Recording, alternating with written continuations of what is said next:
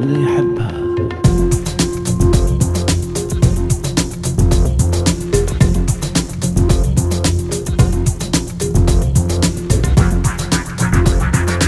Okay, so let's think about this very intuitively. First of all, let's go back home for a second. Now, if you don't want the back button to go back home, if you come out of live view, of course, that takes you back to your page.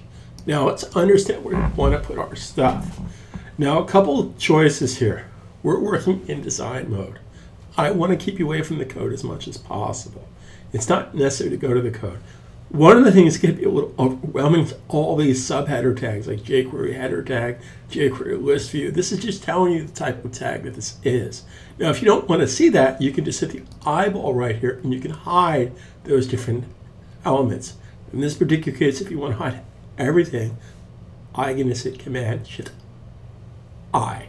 Control I for Windows, and it hides that. Now, you'll get used to that, but I don't mind seeing it. I'm going to turn this back on for a second. Now, where do we want to put this home button? Well, more than likely, we probably want to put it someplace on this page. Now, the home button obviously doesn't need to go on the home page. It needs to go on the About page, and it needs to go on the Products page, and it needs to go on the Service page. Now, even though I double click the word content, it didn't delete the content. But what we can do is basically make this a header one tag. So command one makes it a header one tag, you know. So we can call this my double click paste content, my about content. Okay, header one, command one.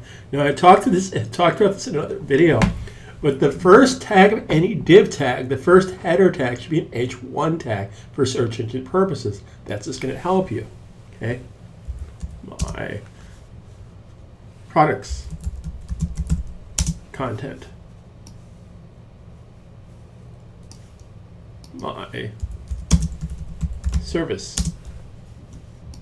Oh, content. Content, contact. Make a change, save a change. So let's put a back button here. Now, here's what's really cool about Dreamweaver for J Mobile. Notice I have these different panels up here, these different tabs. One of the tabs I have in CS5 and CS5.5 and now CS6 is the jQuery mobile device.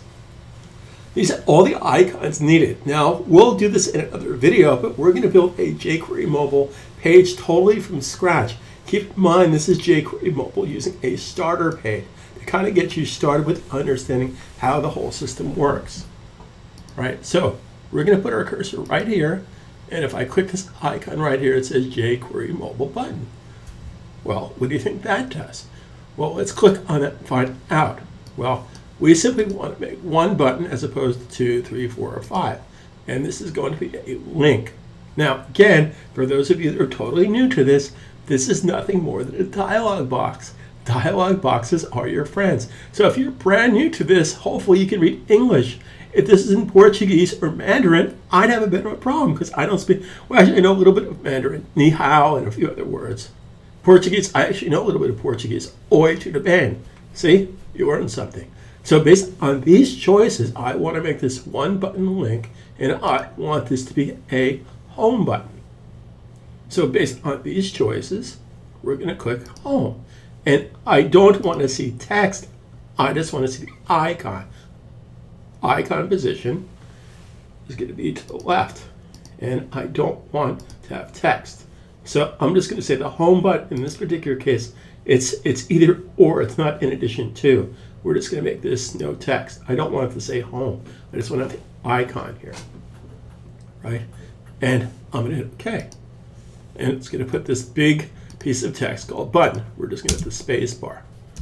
Now, what does this button do? Right now, the button is doing nothing, as in not a nil. What do we want the button to do? Well, we want this to go to an anchor. Now, important step, we haven't talked about this before. This pound symbol is just a placeholder for an anchor for a hyperlink, a tag. But in this particular case, we want to go to this div tag. What's the name of this div tag? Well, the first div tag here is simply called page. So when I click on this hyperlink called button, we want to go to pound symbol page, exactly how it's spelled here. lowercase p a g. Now, the pound symbol is important. That's known as anchor tag.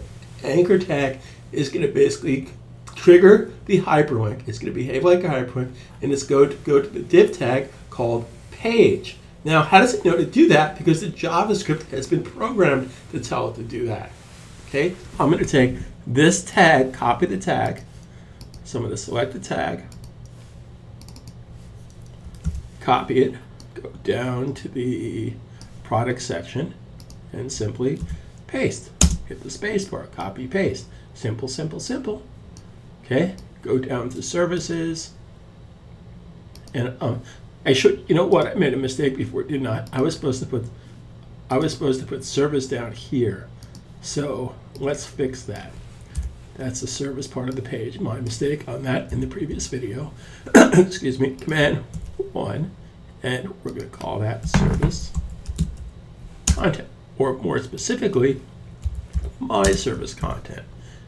Double click, arrow key to the right, paste, space, make a change, save a change. So what did that do for us? Well, this is just a piece of text that we inserted on our jQuery Mobile.